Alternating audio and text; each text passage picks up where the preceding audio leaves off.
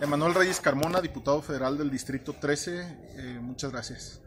Una, un proceso próximo a las elecciones, señor. Sí, bueno, en Morena estamos viviendo una etapa muy importante, una etapa crucial, estamos en vísperas de poder renovar la dirigencia nacional y también su secretaría. Hay que recordar que el Tribunal Electoral mandató al Comité Ejecutivo Nacional la renovación de la misma a través de la encuesta abierta a la ciudadanía y que al interior del propio CEN hay controversias, hay contradicciones, pues me parece que hoy el Comité Ejecutivo Nacional a través de su dirigente eh, Alfonso Ramírez Cuellar parecería que tratan de recomponer, tratan de dar un albazo para tratar de perpetuarse en el cargo o en el cargo o darle la posibilidad de posicionar a su candidato o candidata y de esa manera mantener el control del mismo partido. Es importante destacar que se vienen empujando diferentes frentes y que Mario Delgado Carrillo, que además de ser mi coordinador y mi amigo,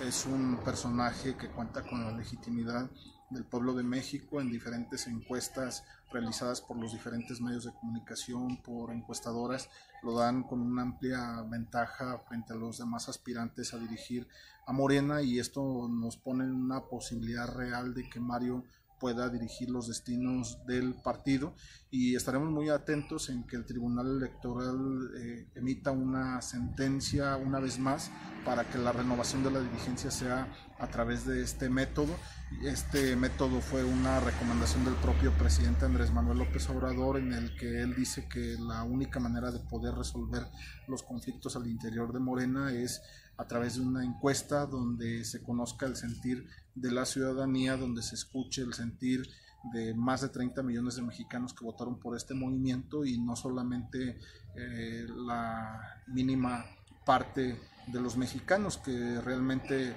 es un padrón que no cuenta con la legitimidad ni tampoco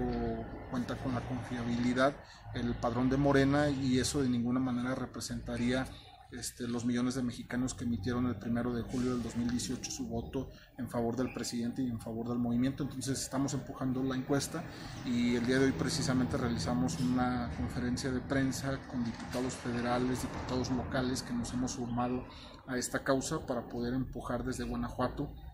el tema de la encuesta abierta y que se suma al clamor de cientos de voces que también a través de las representaciones que ellos tienen en los diferentes estados de la República están apoyando la aspiración legítima del compañero Mario Delgado Carrillo.